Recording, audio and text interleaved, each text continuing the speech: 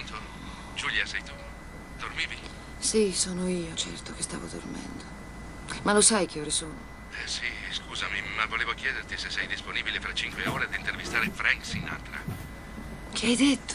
Hai capito bene, De Voice è di passaggio a Roma ed è disposto a darci un'intervista, a condizione che gliela faccia tu. Paoli, non sono l'unica giornalista che lavora all'ITC. E poi ieri sera ho fatto tardi. Ma che vuole a quest'ora quel rompiscatole? Digli che ti lasci in pace. Frank Sinatra arriva tra cinque ore a Roma e vogliono che lo intervisti io. Non posso rifiutare. Pronto, Giulia? Sei ancora lì? Sì, parla, ti ascolto. Non penserai di rinunciare, vero? Puoi farmi questo? Saremmo l'unica emittente ad intervistarlo. È un'occasione d'oro. D'accordo. Anche stavolta hai vinto tu, ma sei in debito con me. Eh? Guarda che la lista si allunga. Ciao. Grazie, ciao. A sentire il tuo capo sembra che abbiano solo te in quella stramaledetta emittente. Dai, non arrabbiarti. Spostati. Conosco un ottimo sistema per farti riaddormentare.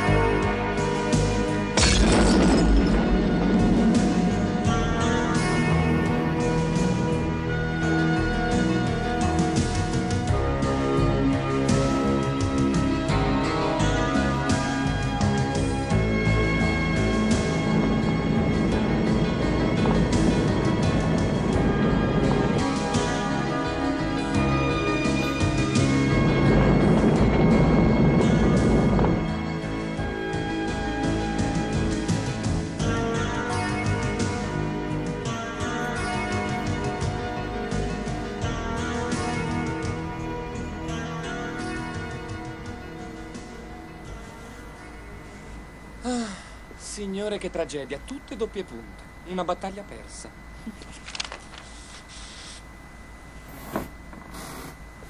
Finish. Finito. Bellissima. Ma che c'è? Non ti piace? Ma Leonardo, Li ho solo mossi un po' davanti. Io sono un artista, tesoro. sei molto bravo, nessuno lo nega. Ma il pubblico è abituato a vedermi con i capelli in un certo modo. Gli piacciono così come sono. Il pubblico qualche volta andrebbe preso a calci in culo, mia cara. Dai retta a me. Ma la mia pettinatura è un segnale di stabilità. È rassicurante e non posso cambiarla così se mi gira. E comunque non senza aver indetto prima una conferenza stampa. Oh, guarda, non sapevo di avere a che fare con la regina d'Inghilterra.